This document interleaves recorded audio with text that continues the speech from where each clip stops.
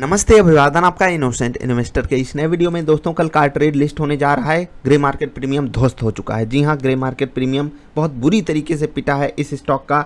यहाँ पर सोलह सौ अठारह रुपये पर अगर आपको एक सौ पैंतीस रुपये का प्रीमियम दिखाई दे रहा है तो ये बहुत ज़्यादा कम है, क्योंकि यहाँ पर आपको जो परसेंटेज टर्म्स में वैल्यू मिल रही है, वो लेस देन टेन परसेंट की है। जी हाँ सात आठ परसेंट का प्रीमियम अभी के सिनारियों में आ रहा है। अब ये सात आठ परसेंट का प्रीमियम जब लिस्टिंग होगी, उसके बाद बचा रह पाएगा। सबसे बड़ा सवाल इसी पे है, क्योंकि जितने भी आई रिसेंट डेज़ में लिस्ट हुए हैं, वहाँ पर एक बड़ी प्रॉफिट बुकिंग हमको देखने को मिलती है, और यहाँ पर भी अगर ऐसा हुआ तो आप एक बुरे ट्रैप में फंस सकते हो। क्या करोगे आप यहाँ पर? देखिए कार ट्रेड में जिस तरीके से लोगों ने अप्लाई किया है वहाँ पर सिनारियो ये लग रहा था कि चलो यहाँ पर लिस्टिंग ठीक ठाक हो सकती है, लेकिन क्योंकि ग्लोबल मार्केट से हमारे लिए अच्छे संकेत नहीं है, कल सुबह की ओपनिंग के लिए तो हमारे लिए जो सिनारियो है वो थोड़ा सा नेगेटिव साइड ही आ रहा है, सबको स्ट्रैटेजी बताएँगे, लेकिन यहाँ पर आपको जो बेस्ट काम करना है वो ये कि क्या अगर आपने जो शेयर खरीदा है, अगर लिस्टिंग गेन के लिए लिया है, तब तो मतलब उसका सपना एकदम ख़त्म है। तो आप ये समझिए, आप कॉस्ट पर एग्जिट कर रहे हो। अगर आपको 10 परसेंट के आसपास का 5 से 10 परसेंट के आसपास का गेन मिलता है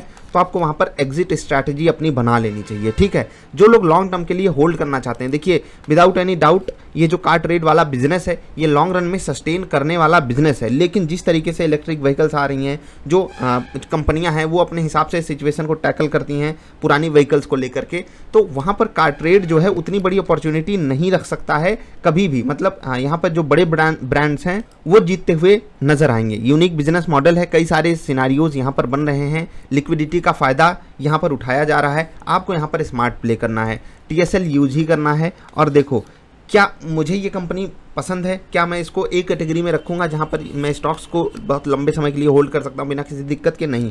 क्या मैं इसको बी कैटेगरी में रखा रखूँगा जहाँ पर मैं गिरावट पे स्टॉक को खरीदूँगा क्योंकि स्टॉक की क्वालिटी अच्छी है और आ, मतलब अगर गिरावट पे खरीदा तो बहुत कम चांसेस है वो हमको फंसा दे। जी हाँ मैं इसको इस कैटेगरी में रखता हूँ ए कैटेगरी में नहीं। सी कैटेगरी आप जानते हो कि गिरावट हो ठीक ठाक गिरावट हो और वहाँ पर जब वहाँ पर हमको रिवर्सल के सिग्नल मिले तभी मैं उस स्टॉक को खरीदूँगा। ये आप खुद अपनी ये कैटेगरी ज़रूर बनाइएगा। तो लिस्टिंग के हिसाब से कुछ खास संकेत है नहीं। आई ने जिस तरीके से पब्लिक से पैसा लूटने की कोशिश की है, उसी का खामियाजा भुगत रही है आईपीओ मार्केट क्यों? क्योंकि जब लोगों को लगता है या बड़े प्लेयर्स को लगता है, चलो भैया, यहाँ पर हम पैसा फ्री में कमा लेंगे। तो लोग इतने महँगे महँगे आई लेकर आते हैं कि उनका वैल्यूएशन मतलब एकदम पचता नहीं है डाइजेस्ट नहीं होता है। और वही सिनारियोज हो रहे हैं आजकल और इसी कारण बाज़ार उनको सम्मान नहीं दे रही है। ग्लोबल मार्केट से भी अच्छे संकेत नहीं है। इसलिए अगर आपको यहाँ पर ये अपने लिस्टिंग प्राइस के आसपास मिलता है तो आप स्टॉप लॉस यूज़ करके वहाँ पर ट्रेड ले सकते हो। अदरवाइज़ आप अवॉइड भी कर दोगे, चलेगा।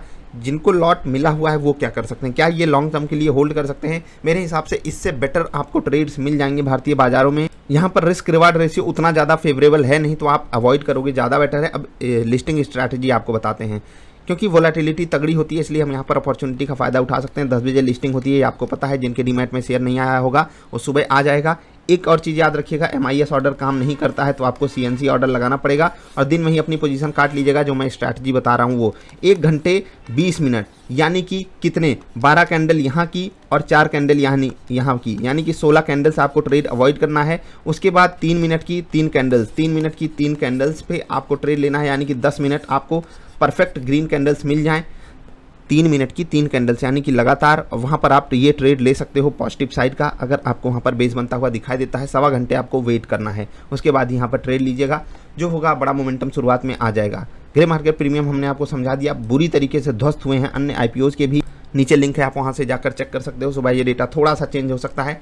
देखते हैं ग्लोबल मार्केट्स में थोड़ी सी रिकवरी आई है, जो एग्जैक्ट निफ्टी हमको 300 पॉइंट नीचे दिख रही थी, वो 200 हुई, पौने 200 हुई, इस वक्त मात्र 150 पॉइंट नीचे ट्रेड कर रही अच्छी बात है ये हमारे लिए ओपनिंग के संकेत हमारे ठीक ठाक हो रहे हैं। चलिए, देखते हैं कल क्या होता है, आप इंतज़ार कीजिएगा, हम वीडियो लेकर हाजिर होंगे आपके साथ।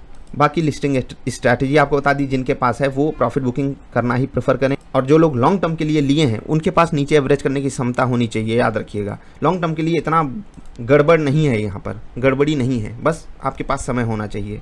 ठीक, तरीके मैंने आपको बता दिए स्मार्ट तरीके से यूज़ कीजिएगा। मिलेंगे फिर से, नमस्कार।